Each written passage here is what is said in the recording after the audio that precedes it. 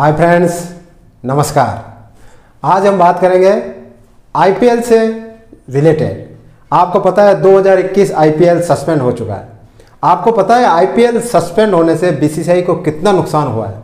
और आईपीएल से बीसीसीआई कितनी कमाई करता है? और इनका अर्निंग सोर्स क्या है? आज हम इसके बारे में बात करेंगे। तो आइए देखते हैं। बीसीसीआई और आईपीएल इससे दो तरीके से पैसे कमाते हैं। फ़र्स्ट विज्ञापन से दूसरा टाइटल स्पॉन्सरशिप से। विज्ञापन और टाइटल स्पॉन्सरशिप ये बीसीसीआई और आईपीएल दोनों की शेयरिंग होती है दोनों की प्रॉफिट शेयरिंग होती है। जो भी होता है इनके बीच में आधा आधा डिवाइड होता है। फ़र्स्ट मैं आज आज बा, अभी बात करूँगा मैं आपसे टाइटल स्पॉन्सरशिप की। अभी इस 2021 में 700 करोड़ का टाइटल स्पॉन्सरशिप तय हुआ था। जिसमें से चार ऑफिशियल पार्टनर्स थे इसमें। First Tata Motors second C R E D third Upstox and fourth Unacademy इनका आईपीएल में इनका करार करार था 210 करोड़ का। इसके बाद टाइटल स्पॉन्सरशिप थी वीवो के पास में। वीवो का आईपीएल से करार था 440 करोड़ का। इसके बाद एम्पायर स्पॉन्सरशिप थी पेटीएम के पास में, जिसका 28 करोड़ का करार था। इसके बाद स्ट्रेटेजी एम्पायर टाइमिंग का भी करार था, वो सी के पास में था।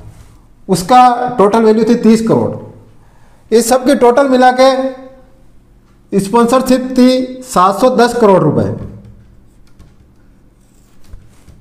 टोटल तो अब देख लीजिए कि आईपीएल में बीसीसीआई को और फ्रेंचाइज टीम को कितना नुकसान हुआ।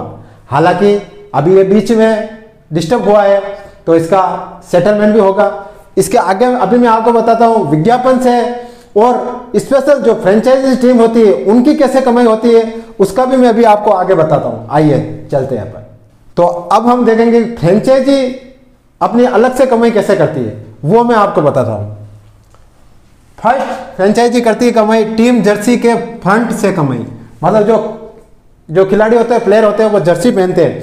तो ये फ्रंट का जो जो भी वो कंपनी स्पॉन्सर देती है, वो यहाँ पे लगवाते हैं। उसकी जो कमाई होती है, उसकी कमाई फ्रेंचाइजी को आती है, वो होती है पंद्रह से पच्चीस करोड़ की।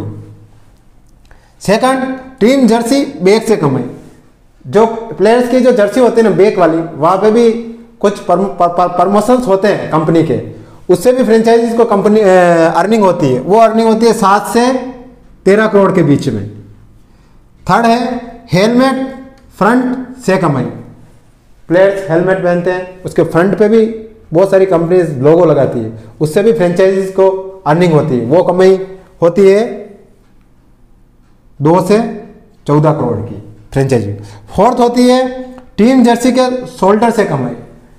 प्लेयर्स जर्सी पहनते तो शोल्डर से शोल्डर पे भी बहुत सारी कंपनी अपने प्रमोशन करवाती है।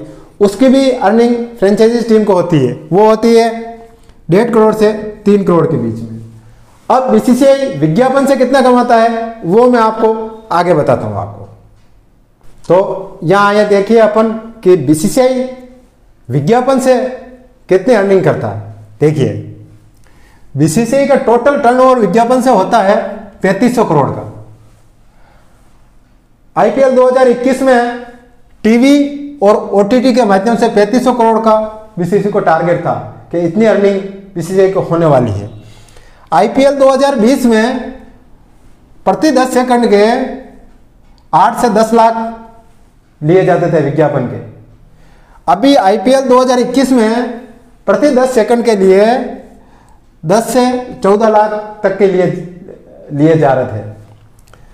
अब देखिए हालाँकि आईपीएल शुरू होने से पहले बीसीसीआई इसका इंश्योरेंस करवाती है। लेकिन ये इंश्योरेंस सिर्फ़ प्राकृतिक आपदा का होता है। जैसे भूकंप हो गया, आतंकवाद हो गया, चक्रवात हो गया, या कोई और अदर कोई प्राकृतिक आपदा हो गई, उसका हो गया। अब, अभी जो वर्तमान में कोविड चल रहा है, कोविड का कोई आईपीएल का इंश्योरेंस नहीं था। तो इसका तो सवाल ही नहीं उठता है कि इंश्योरेंस कंपनी इसका पे करेगी तो नुकसान बीसीसीआई को ही भुगतना पड़ेगा। हालाँकि अभी बातचीत चल रही है कि कोविड का भी इंश्योरेंस कैसे किया जाए, लेकिन वो आने वाले टाइम में देखा जाएगा। तो इस तरीके से बीसीसीआई और आईपीएल की फ्रेंचाइजीज टीमें अर्निंग करती है। इसी के साथ आज यही, नमस्कार।